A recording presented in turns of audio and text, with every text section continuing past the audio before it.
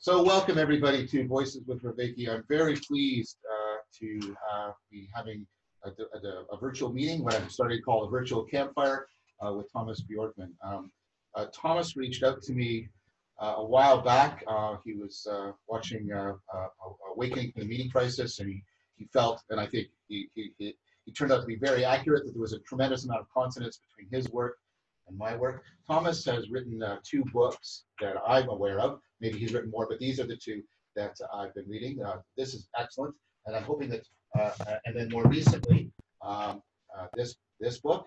And these books, I think, are really important uh, in thinking about um, some added dimensions uh, to what I've been calling the meaning crisis, and also some um, added dimensions of how we can awake from it and respond to it. Um, so uh, very excited uh, to have Tomas here. So Tomas, uh, uh, welcome and thank you so much for joining us. Thank you, John. And thank you for, for having me on your podcast. Thank you very much. So uh, Tomas, what do you, like, obviously you, you, you know, you play an important role within the meta-modern movement, meta-modernism. I've had a wonderful Voices with Vervaeke with Layman Pascal and he he, uh, he, he, said some very uh, really insightful things. I want, maybe we could start with what's your take on metamodernism? What does that mean to you? And why do you feel it's important to you personally? And why is it important for, you know, in general, given our current situation? Yeah, uh, thank you, John. And th thank you for, for speaking kindly of my my two uh, uh, latest book, uh, The Nordic Secret. I should mention that I've written that one together with my friend and, and colleague Lene Andersen, Danish philosopher and, uh, and author. Uh, and then I should also mention that actually the first book I wrote, uh, which I think is um, becoming more and more relevant, actually was coming out of the banking world. I've been an investment banker for for for for many years, and before that, I was uh, in mathematics and physics, and using then my mathematical and uh, skills and modeling in, in, investment banking.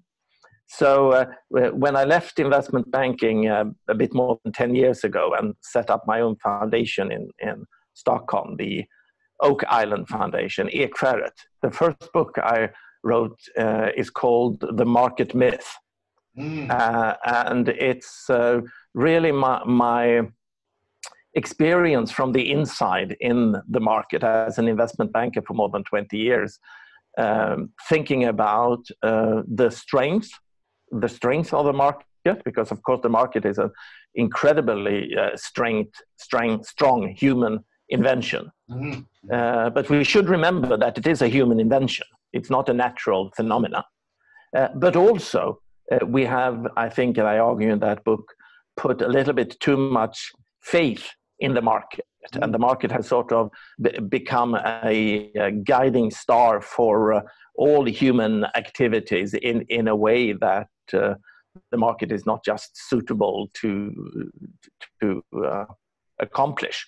Mm-hmm. So, as good as the market is in many ways, uh, the market is cannot help us with a number of things. And I think that is at least here in Scandinavia, becoming very evident now in the COVID crisis, where yeah. we in Scandi- Scandinavia has sort of uh, privatized most aspects of uh, healthcare and medicine and all of that. And it comes a little bit as a surprise now to the society that uh, the, the market has not really been able to provide those uh, buffers and been able to be long term enough to uh, help us in this crisis. So uh, that was the first book uh, I, I, wrote. Uh, and then um, um, you mentioned the, the market myth, which, sorry, you mentioned the Nordic secret, the Nordic which, which, is about, yeah, yeah which, is a, which, which is about the fact that uh, we in the Nordic countries actually had very visionary uh, politicians and intellectuals 100 to 150 years ago mm-hmm. who really saw the connection between personal inner development and our ability to make meaning, I would say. mm-hmm. and societal change.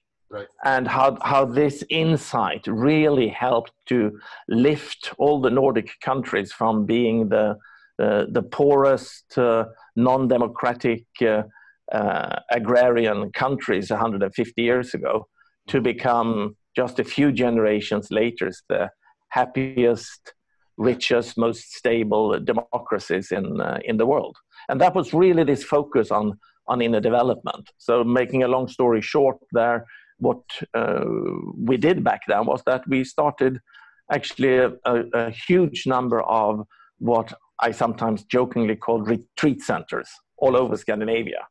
And we uh, later on um, made it possible for young adults in their 20s to spend six months uh, at one of these centers with the expressed aim of developing your inner capacities to be able to act as uh, what we today might call conscious co-creators in the creation of, of modernity and, and, and democracy.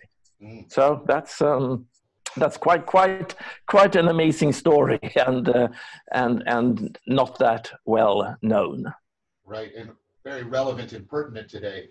And then in the world that we create, you sort of went through also this historical analysis of sort of a sequence of normativities. You know, there was the normativity around religion and God, and then there was a normativity coming out of modernity um, around, you know, science. And then you say that has fallen under critique with postmodernism. That and this dovetails with your first book, that has left the market as sort of the de facto default normativity governing everybody. But as for reasons you have already articulated, while it does a lot of things, it can't do everything, and we shouldn't we shouldn't deify it. We shouldn't let it be that kind of absolute uh, normativity for us. So this takes me back to so like um, what um, what what what do you see uh, uh, now that we're coming out of uh, like the or trying to get beyond the postmodern critique, and we're trying to get to a place where we realize uh, sources of normativity other than the market. One of the things you point out in the Nordic Secret was exactly that network, right? That that, that you know that it was it was it was a cultural project.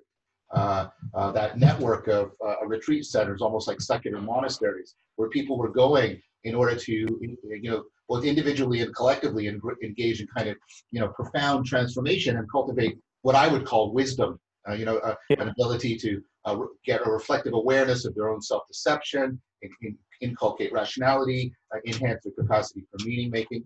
So what I'm, what I'm trying to now ask to put it sort of in it, bring it, draw to a point, uh, Tomas, is how does all of this excellent work that you've done. And you were, I was, you know, I, I got the term from you, you know, the meta crisis, which know people are now using uh, about COVID, which I think you you deserve a little bit more uh, credit for the idea of the meta crisis about systemic interweaving of crises. And what one of the things COVID is doing is disclosing that's the the, the, the, the systematic meta crisis. So what does all of this, what's the connection between all of this beautiful analysis and well, I'll use your term, you know, the meta crisis. How do we how do we take the what you what you've given us, and how do we apply it uh, to uh, the meta crisis? Is is that a fair question?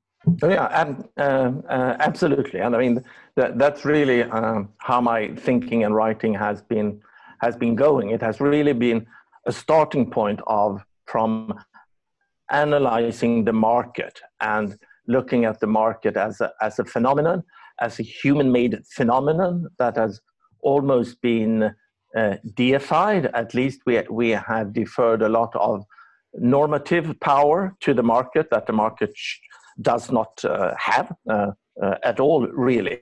So that, that brought me into thinking about how we socially construct this world. Mm. And uh, the starting point of the world we create is really, as you say, it's a historical description of how we as humans developed this unique capacity for humans to construct a symbolic universe. Yes. Through, Our, through our language. Yeah. We, we, we cannot, some animals can, can use what you could call an index language mm-hmm. which means that they could have one sound for one type of enemy approaching and another sound indicating another natural phenomenon. But what is unique with the human symbolic language is that we can abstract from that concrete level and, and have concepts that has really no correspondence to the physical reality. Mm-hmm. So, for example, a stone or a tree, of course, has uh, correspondence in the physical reality, but there is no correspondence for justice, beauty, democracy, mon- money, uh, corporations, nation states, or all of these things uh, are in fact uh, a result from our human ability to construct a symbolic language. And with the help of this symbolic language, we can start creating a symbolic universe mm-hmm. or a what some sociologists would, would call um, a social imaginary, or even better, a collective imaginary. Yeah. yeah. Something that comes from our imagination, but we share it co- uh, collectively. And this is a unique human ability. And uh, it's easier to see this collective imaginary if we look at other societies than ourselves. If we look at at uh, a pre-modern society or even an uh, indigenous society, th- then we could see this collective imaginary, how you can be- start believing in concepts like uh, spirits and totem and deities. And, and we can a bit, a bit look down on that and think that that is naive and so on. But my point is really that this collective imaginary is something that is evolving throughout human history. Mm-hmm. And very often it's evolving more or less linearly. But at some points in human history, we outgrow our collective imaginary. And then we have a huge transformation mm-hmm. of our whole social world. And I think, and that's why I think that the, the meta crisis is, is a useful concept, because now we realize that all these different crises that we see today, like the environmental crisis, political crisis, or or um, psychological crisis that they cannot be addressed individually mm-hmm. B- because the crisis is on such a fundamental level mm-hmm. that it is really in our collective imaginary and that the collective imaginary that we are living under today uh, which we got essentially from uh, from the enlightenment uh, transition when we went from a dogmatic religious way of looking uh, at the world to a rationalistic scientific way of looking at the world. And, and this worldview, this collective imaginary, has of course been extremely powerful and useful for humanity because it has given us uh, modern medicine and human rights and democracy and, and all of that that we would never want to be without.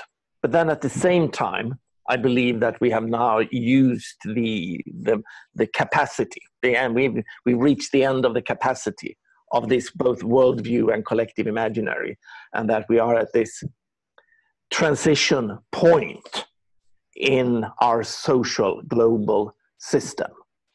And from physics, I, I have got this uh, model of self-organizing complex systems and thinking in systems theory and thinking in yes. self-organizing systems i think that is so useful to do that and that that is something that is applicable of course not just to natural science phenomena but also to uh, your field of cognition yes to, to yes. see to, to, see the mind uh, not as some sort of uh, machine made out of neurons, but much more like a self-organizing, yeah, dynamic, dynamic system yeah, yeah. that has the potential for evolution and evolving throughout our lives. Mm-hmm. Uh, and if you look at culture in the same way, you look at culture as a self-organizing complex system, then you realize that this can evolve, but then also that you come to one of these, eventually come to one of these uh, transition points, phase shifts points, or bifurcation points, yeah. where the system needs a radical transformation that usually entails either a breakdown in complexity or a breakthrough to a more uh, complex, more elegant way of, of organizing. And I think that's, that's where we are right now, right. humanity. We are at one of these bifurcation points, and now it's either breakthrough or, or breakdown. Wow, so that's excellent. Thank you. Uh, there's two two things came up for me when you said that. Uh, what, what, so you you invoked a deep analogy between uh, cultural uh, culture as a dynamical system and cognition, and I was thinking about you know uh, one of the phenomena I study is uh, insight. And you know you're, you, you've been framing things in a particular way, and your frame tells you what's salient or relevant, and then you get to a point where that framing is actually thwarting you from solving yeah. the problem. And then you have to go through like this self-organizing criticality you know, the, the system has to destabilize. It has to become critical. Oh, sorry, they're doing some sort of. okay, no problem. Out there. The, the, system has to become, you know, critical. It, it breaks down. Entropy increases for a while. You get you get that phase of criticality, and as you say, criticality criticality can either mean that the system collapses, and as you said, goes to a low state, or what happens in insight is right. The criticality breaks the structure up enough so that a new structure becomes possible. And that's you get the aha experience. Yeah. And of course, if you do this on a real large scale with your mind, that, that's when you have this sort of inner transformation or yes. you have a, a, meta, a metanoia. Yes, exactly. exactly. And, as, and as with all self-organizing complex system, in, in these transitions, you have the possibility of emergence. Yes, yes. Something com- something completely new emerges that, that you could not really predict nor explain in the previous state of, uh, of the complex system. And, and that really, for me as a physicist, that really made me understand that uh, personal inner transformation, a metanoia, is actually possible. I mean, be, before before that, I thought that this was some sort of religious nonsense, you know, a new age spirituality. But but now I can see how this uh, is actually the, the, probably the the the most straightforward way for nature to organize uh, consciousness. It is it is uh, to to provide um, a general function that would then take in and process information and energy and then use that to self-organize and then to, to transform. That, that would be the natural way for nature to, uh, in a very efficient way, achieve, achieve consciousness. That, that's amazing. Well, you know, you know, Tomas, because I'm deeply concerned with all of this work, um, hmm. uh, and that's what I was exactly trying to propose with the uh, with the with the analogy to insight. Because what happens in insight is that you get a new function. That's what the aha is. You get the emergence of a new understanding, emergence of new options. And so the idea that the uh, the, the culture might be uh, uh, at that point. Um, and, and also you uh, you were putting your finger on, I'm working on a book with Daniel Craig called The Cognitive Continuum, you know, from insight all the way up to, you know, uh, enlightenment, how the same machinery, you can see the same machinery at different scales of analysis and complexity when we look at cognition. So there's a, there's the same machinery that's happening in the aha moment, as you said. It, it's systematic and more comprehensive, but that's what's ultimately happening when people are going through metanoia, the deeply transformative experiences. So, I mean, yes, I, I agree with yeah, that. absolutely, absolutely. And now, if we then um, talk about uh, society and, and our collective imaginary, I, I think that we now are at the point again of criticality where we need to have such a transformation such a collective uh, metanoia. Yeah. Uh, again, and we should remember, and I spend the first part of my book, The World We Create, in, in showing that humanity has, or different cultures, has gone through these yep. sorts of yep. processes yep. many, many times. When we sort of went from, going back to your original question, when we went from sort of an indigenous uh, tribal society, a hunter gatherer society, into a pre modern civilization, and then from the pre modern civilization into modernity. And now we are through post modernity transitioning into something beyond post modernity that we might call meta modernity or whatever we, we would like to, uh, to call that. And, and then, of course, it becomes important to, to ask ourselves this question what, what is it then, this system that, that is about to transform. Mhm. What is this collective imaginary? And how does the transformation of this collective imaginary relate to our individual transformations and consciousness and, and ability to hold and replicate this collective imaginary? And uh, the first thing, of course, that, that is makes this so very difficult is that we do not really today outside academic circles of, of anthropologists and sociologists we don't have a, a everyday language for this collective imaginary i mean for for for for all of us this collective imaginary is like the water for for the fish Yes, yes. it, it's, it, it's something we swim in Yeah. and we take it for granted, but we don't really think about it. Right. But of course, um, what's different from, from the fish in the water is that for, for the fish, the water is a natural phenomenon that it's not aware of. Whereas for us, this collective imaginary uh, is not a natural phenomenon. Mhm. It is a human made phenomenon but mostly uh, uh, made out of our uh, unconscious uh, reproduction and slow evolution of uh, what we inherit from uh, previous uh, generations. You mean culturally? You mean Hmm? culturally? The, the, the inherent. Yeah, culture. Yeah, exactly. I mean, culture is part of this collective uh, imaginary. So is our worldview. Everything. The market is a very important part of our collective imaginary. Yeah. Previous collective imaginaries. Then, of course, God and religion Yep. took up a l- large part of that collective imaginary.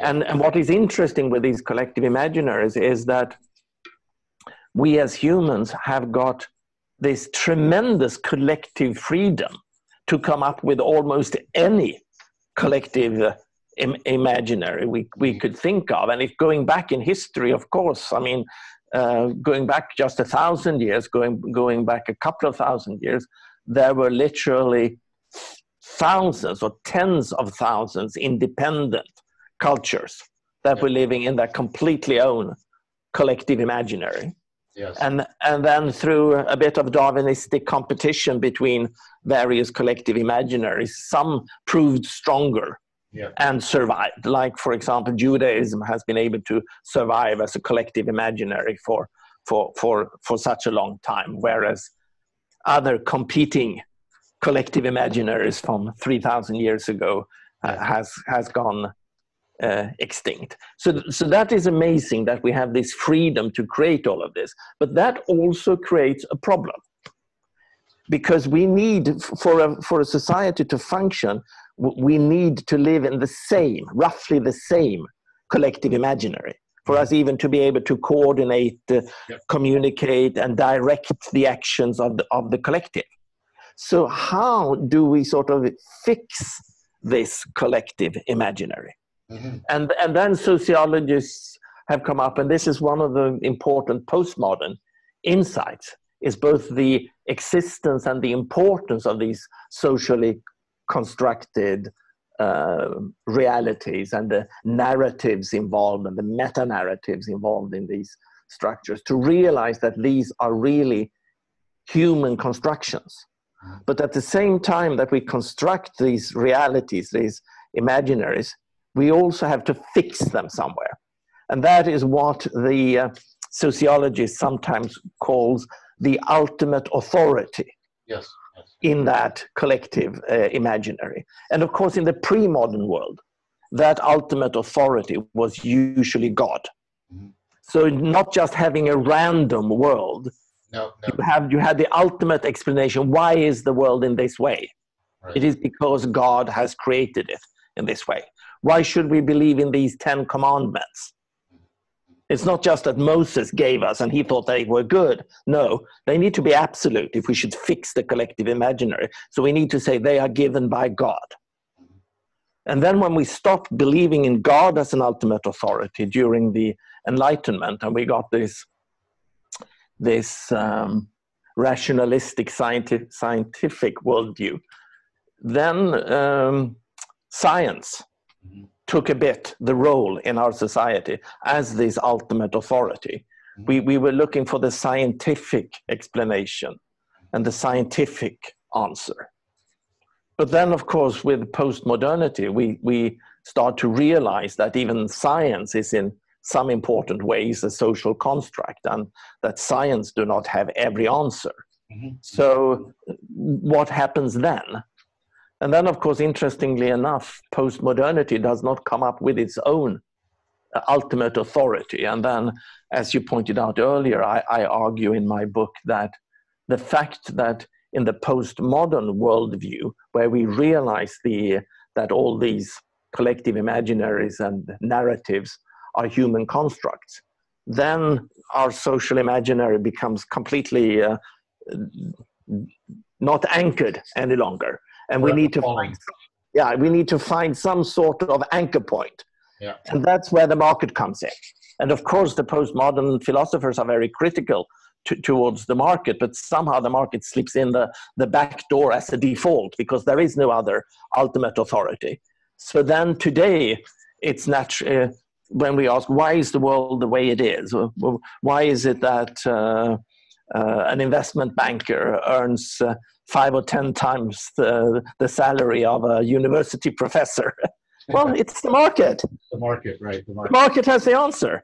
Yeah. So yeah, what should we produce? Well, the market will will will will tell you that. And then we started to um, put a lot of authority into the market, and again, a little bit too much, and, and we are now starting to to realize that. So so then, of course, the the question becomes then: so if we had this pre-modern world with its collective imaginary and with God as uh, the ultimate authority, then we had the uh, modern world uh, with science as the ultimate authority.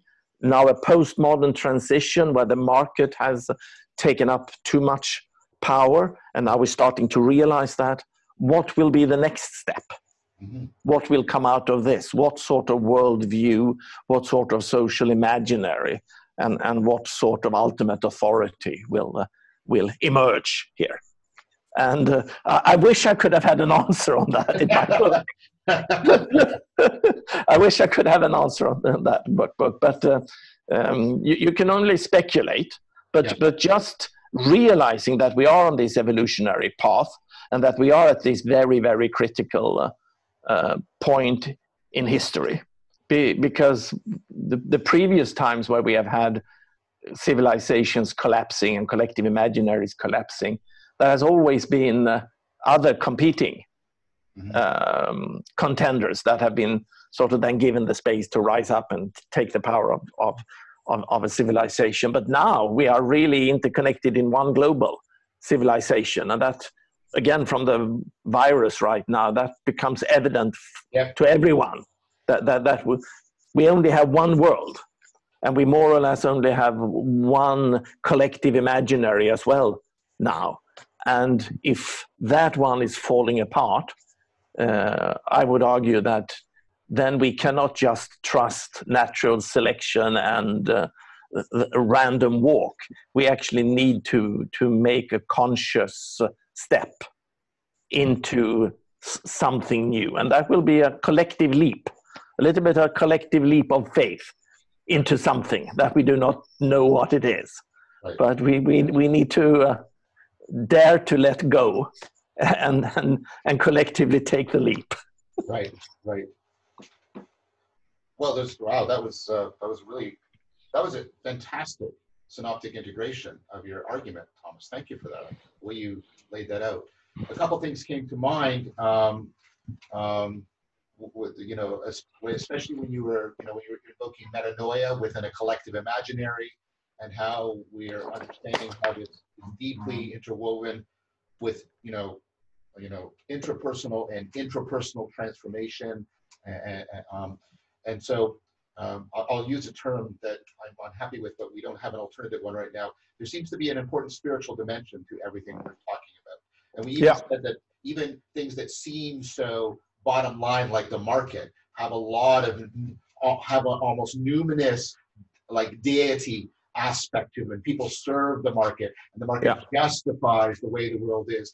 And so uh, it seems to me that part of what we are, are talking about then is, uh, well, at least uh, I'll make a point that I've been arguing for, is, is that, um, and I know you're not claiming this. You're not claiming we can unlearn everything that these previous revolutions have given us. And we can't sort of go back like to an indigenous world. We can't go back uh, to an axial world, right?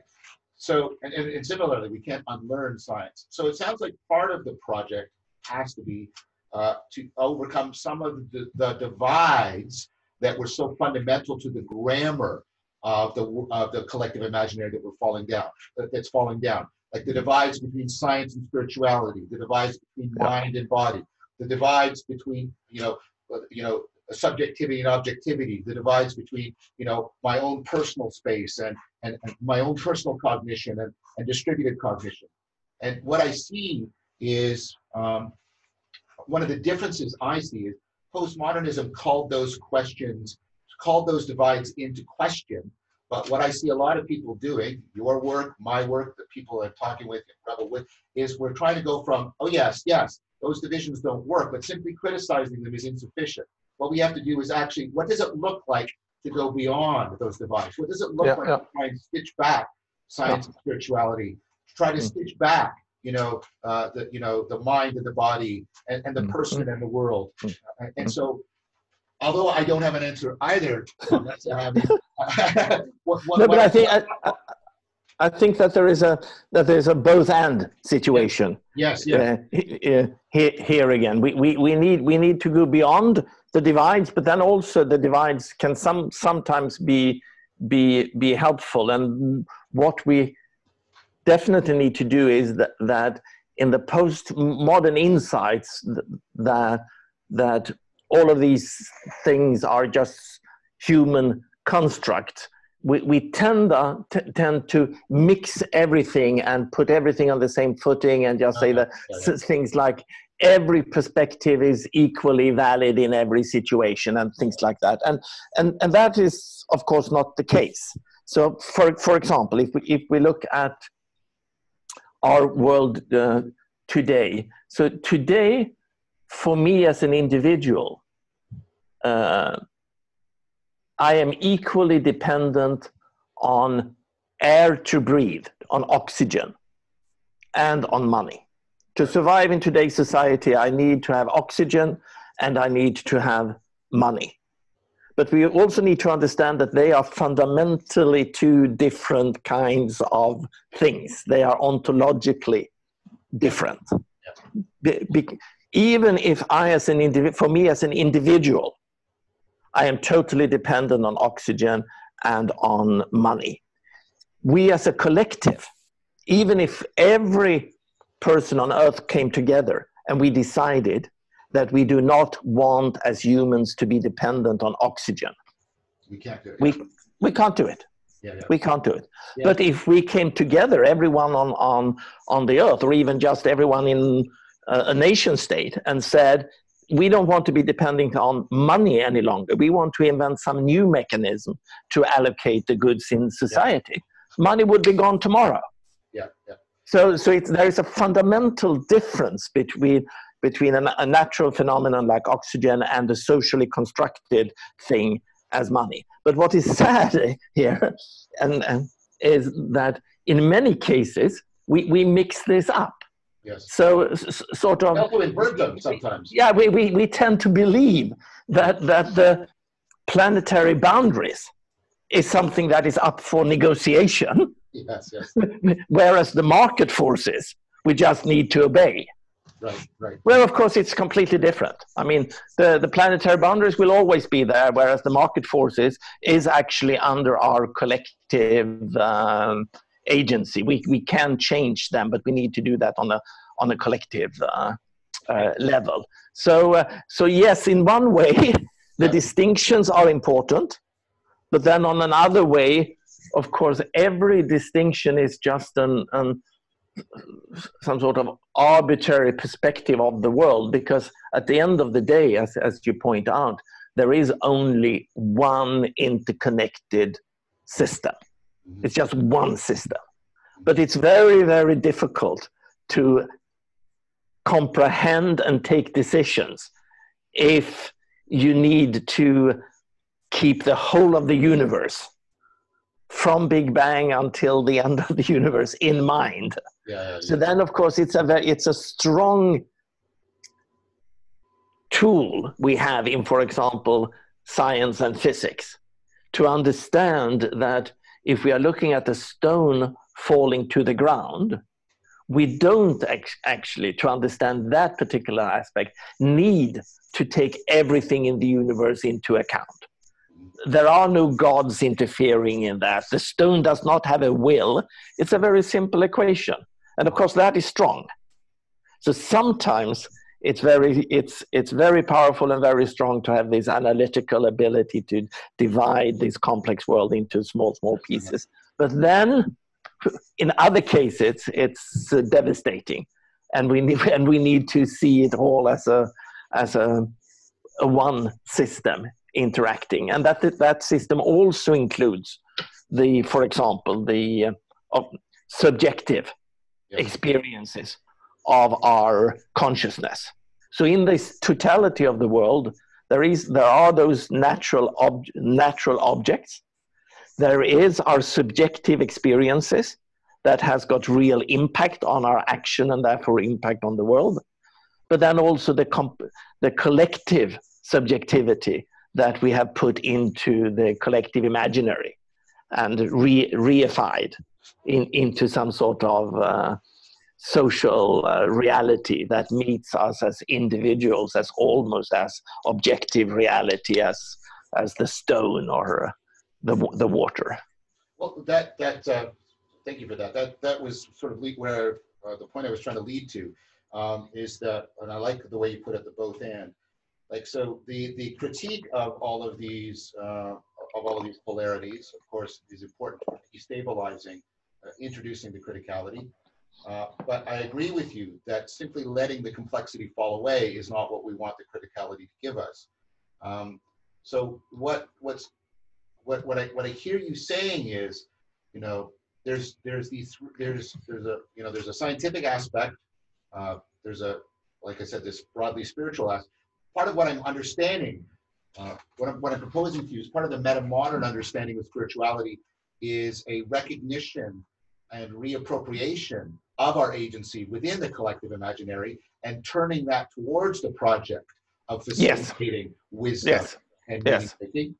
And then, Yes. and, and then, and, but then what you're now saying in addition to that is we have to, we have to take great ontological care in how we're trying to do the, the both and, you know, when we're trying to get beyond. We don't want to simply remove um, the distinctions that are actually necessary for, a- for, you know, appropriately engaging in the reappropriation. We don't want to conflate uh, the spiritual with the scientific. So that's, that's part of, that's part of what I'm trying Yeah. to So, say. so, so, Yeah, so I think yeah. So, so I think that in in in in post-modernity, we, we have this sort sort of relativistic perspective Yeah. that, that every perspective is equally valid. I think the next step is some sort of uh, integrated perspectivism, sa- saying that for any problem, the more angles, the more perspectives you can view this this situation from,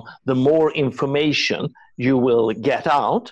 But it's very important to discern the um how how important the different angles Yeah, yeah, right. are Yeah. in an analyzing a certain uh, a certain phenomena. So it's not that the yeah you you need as many perspectives as possible, but then it's a little bit more complicated than just flow, throwing them all in in. Uh, in, in a bucket and picking one randomly. No, you, you need to understand what sort of in, information each uh, perspective is best at uh, best at providing.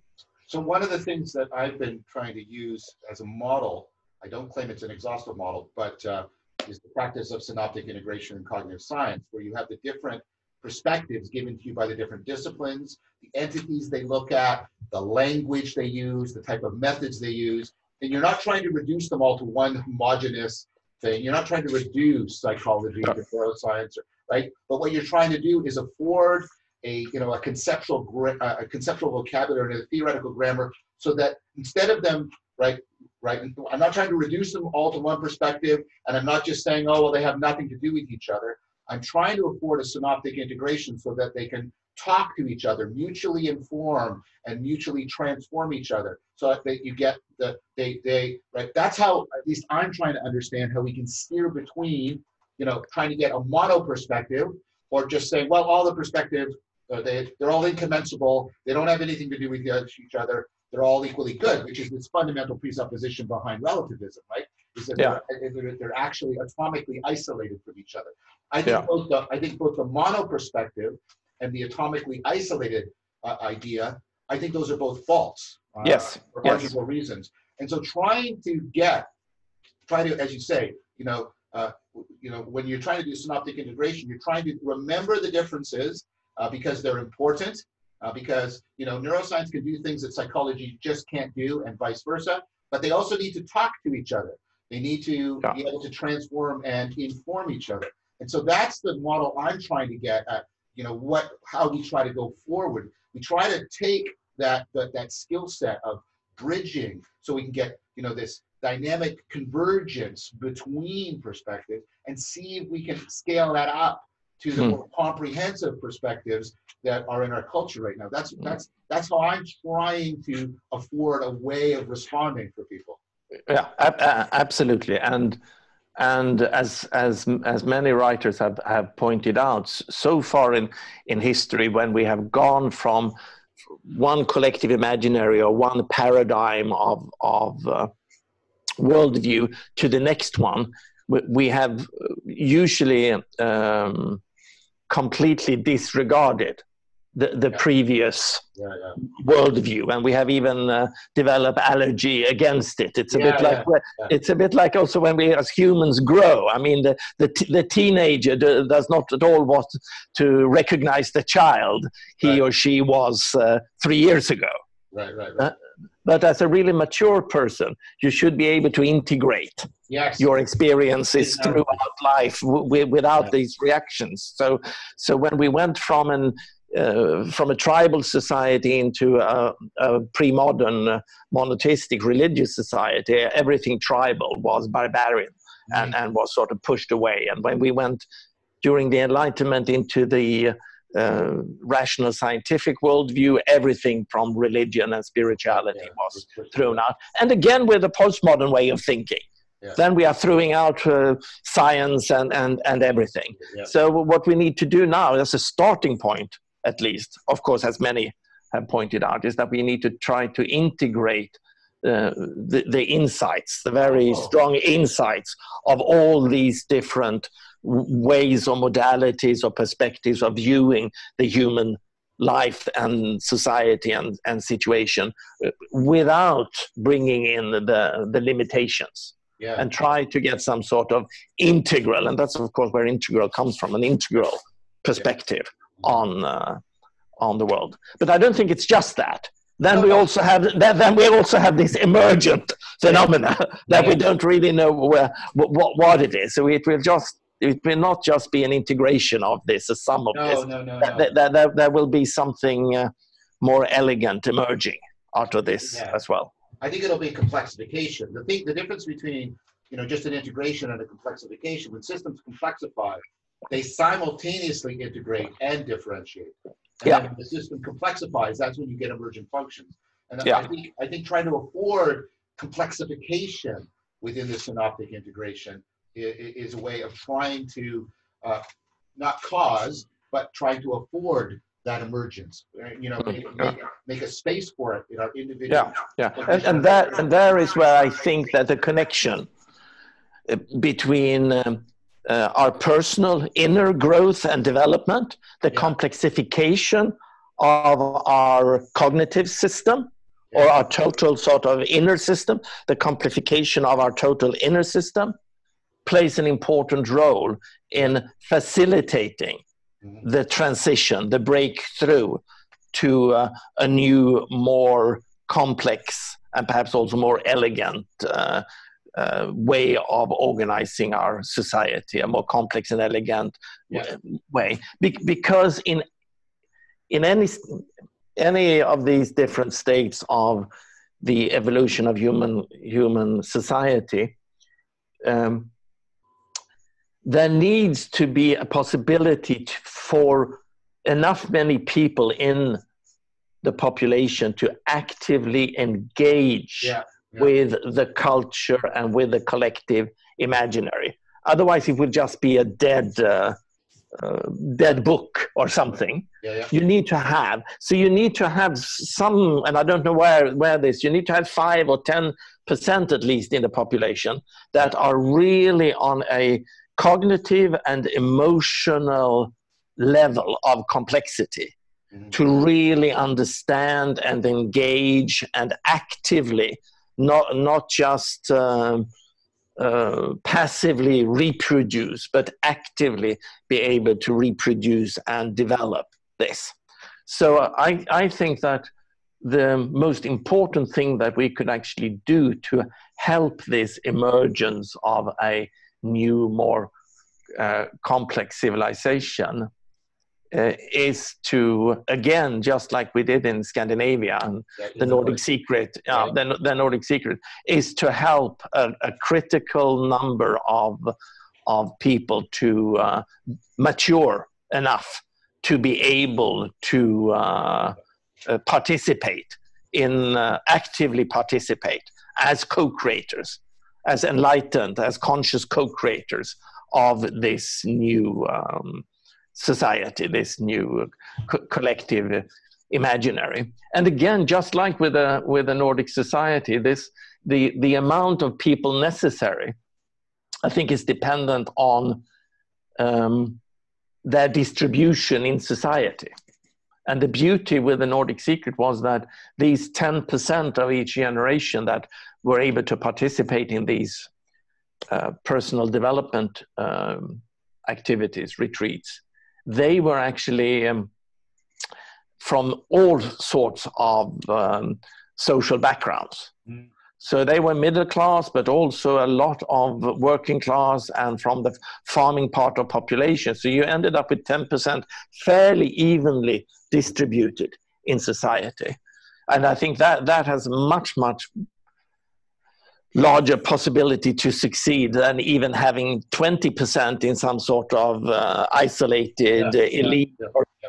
of, of society. So, so that's where we are again, helping enough many people to uh, develop the inner capacities Yeah. to become conscious co-creators of uh, the next level of uh, society. And, and the point of the, the Nordic Secret was exactly the point that this isn't some idealistic fantasy. This is a historical reality. This actually happened. Yeah, yeah, yeah, yeah. I, I usually say that I don't, I don't see uh, um, the the Nordic secret, the Nordic experience, uh, as a blueprint for what we should do today. We could certainly do this in other ways. We might not have to create these ret- small retreat centers out in nature, even if I believe strongly in that concept, and that is what we are doing at the Oak Island Foundation. Uh, uh, but we it could be done in different in different ways today, and and I'm, for example, involved in a digital platform Yep. to facilitate uh, personal development called 29k.org. So I think that we might be able to do to use digital tools to help facilitate this. So it's not a blueprint, but it is certainly a case study Yes. showing that this is not a fantasy. This has actually worked, Yeah. and it worked.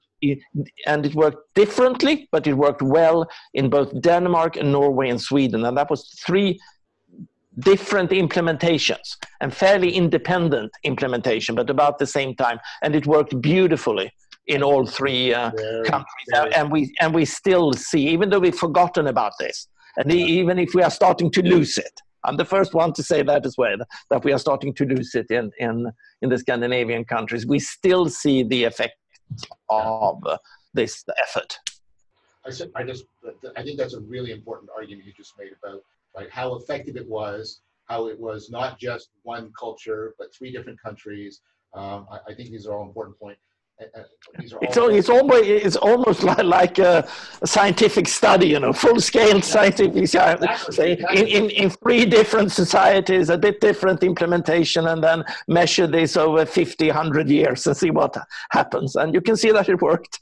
Yeah. Of course, now, of course, now this was going from a pre-modern society into a modern society. Yes, yes. Now we're going from a modern or post-modern society into some something new. Yeah. So then this becomes even more important, but Yeah. perhaps also more challenging Yeah. for us as individuals because this becomes more and more complex, and you need to be able to hold more and more perspectives and emotions and we are going from a monocultural society into a multicultural society and that complexifies things a lot Yes. so this becomes even more important now Yes, I think there's going to have to be emerging, uh, you know, emerging new psychotechnologies, new uh, emerging ecologies of practices.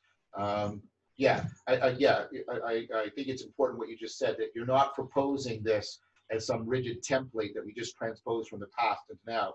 You're taking it as right as a, a really, as you said, you know, a, a really powerfully um, comprehensive historical case study that tells us that something like this is possible. And that's an alternative to a kind of utopianism. You're not, oh, here's my vision of the future, and I can guarantee that if you just do X, Y, and Z, right, if we just do this or that, right, that totalitarian, uh, you're not doing that at all. You're saying, no, no, no. I, I, I'm saying we're, we're going through a change. Here's something deeply analogous. Let's try and make the analogy as best we can to where we are right now. I think that's a very important Mhm. alternative to both a nostalgia that says, no, let's go back somehow. Let's get back to the Yeah. religious world, and right? Or no, no, a utopianism that says, I know for sure what the future looks like and denies the importance of emerging. yeah, yeah. A- and that and that and that is also of course um, um, why why this transition is is in many ways more more difficult than the previous one from pre-modernity in, into modernity. Uh, and it's not just that we have this sort of emergence the emergent phenomena that we need to leave leave space for. Uh, it's not um, just that we have the technological rapid rapid evolution that we do not really uh, know what society what the technological possibilities will be in just 10 years. Right, uh, and i think that the future arrangement of, of society and especially the next implementation of the market and of democracy i think that that will be very much dependent on development in, in for example blockchain technology and, and other things. So exactly what this will be we will truly be um, emergent. But there's one more Right. thing that complicates things and, and that is that a hundred years ago it was actually possible at least plausible to argue for a utopia Yeah. saying that that this is where uh, we want to be in 20 years or in 50 or in 50 years let's go there Yeah, yeah. and it's it's easier to to uh, bring up support for an idea when you can clearly articulate Yes. an end state Yes. and of course we can't do that because of the rapid technological development because of the emergent properties of, of the future but also because i believe that the future will be that rapidly constantly evolving that instead of the future being a state i think we have to realize that the future will be a process Yes, yes, yes, yes. Okay, S- so so, so our our idea about the future is not about a future state. It is about, it's not about supporting the emergence of a future state. It's a, it's supporting the emergence of a good future evolutionary process Exactly. where we, Exactly. where we become self-conscious. About the importance of integrating the interpersonal development and actively integrating the co-creation, the emergent co-creation of our collective imaginary as well. I think that's excellent. I, yeah, I- yeah, I've been, yeah, I, I, I think that's a very important thing. I have a convergent argument about, we have to give a, a, up a kind of uh, teleology, a kind of teleological thinking in which we're trying to get to the, the end state, the completion, the perfection. You've got to Yeah. give up those, those ways of understanding how we're going to move into the future. I, I- I think that's a very, very Hmm. deep and important thing you just said, Tomas. Yeah, yeah, but it's difficult because Yeah. again, as you mentioned many times in your series, um, our, our human mind is um not made for, for these things. I mean, we, we, we, we want to see the simple solution. We want to see a picture of where we are going. We want to know what is right and what is wrong. So it, it, it puts a huge demand on uh, not, not only the thought leaders of societies and the philosophers, but also really on every person in society that, Yes, that, that should be part of the democratic process right. of this society uh, uh, about. So um, education and uh, our, our support, the society support for, for everyone to be able to develop the inner capacities to be part of this. I think that is super important if we are not going to end up with a two-tier society or Yeah. something like that. Well, you've been an example. I mean, you're you're not just talking, and everybody should know this. You know, Tomas is out there trying to actually, you know, put into in, into existence all these things that he's talking about. Uh, you should know that, You know, and he, he in, in, in a sense, you're running a lot of the case studies that need to be run right yeah, now. yeah, yeah. No, I, I think that that's what we need to do now. We we, we need to prototype. Yeah, We need, exactly. to exper- we need to experiment and we need to Yeah. prototype. I mean, what, what, what, what is it like to be, be uh, creating a, a, a co-living space, for example, where, where you try to create a culture that is a deliberately developmental culture, a Right. culture that is actually holding everyone's development and trying to bring out the best in every person. How do you create such a culture on a small scale? How do you experiment with these things? So it's it's funny. It's funny to to to, work with these things. Well, this has been really, really great, Tomas. I, I'm glad that, that you know um, uh, uh, you you were able to. Uh, well, I'm grateful that you were here and you you so you know you were able to articulate your vision and your uh, so much because I want more people uh, to be aware of your work and what you're thinking and uh, and also as I just mentioned what you're doing and, and what's happening uh, uh, and so. Um, I wanted to ask you if there's any sort of final summative uh, uh, not to bring things to completion, but is there, is there any final summative thing you want to say? No, I, I I think it's important that we we try to stay open yes, in in uh, in rapid change. And uh, when we have uh, virus or war it's very easy to to want to shut down. Yeah. to go back. Yes, yes, shut yes. down go back. Okay? Yeah. but uh, we know that there is no uh, no going back. There is a lot to learn from history. There is a continuing continu- continuity there is a continuum that we, we, we shouldn't we, we should realize the importance of our roots and the more well we know our roots the more rooted we are the more free we are to uh, explore and uh, experiment and and to dare those leaps of faith both the individual leaps of faith but also the collective ones that we are now uh, facing Wow, that's excellent. So, um, thank you again, Tomas. Uh, I Thank you, John. To take a look at uh, Tomas's uh, books, uh, the two I held up and the, and the, and the first one he mentioned, uh, the, uh, is it the market myth or the myth of the market? the, the- the market myth yeah And also Tomas has some, some YouTube videos that are out there uh, that uh, maybe Tomas, you can send me uh, some links for things I can put on- into the notes for this video so people can uh, get more in, in contact with, uh, with your work.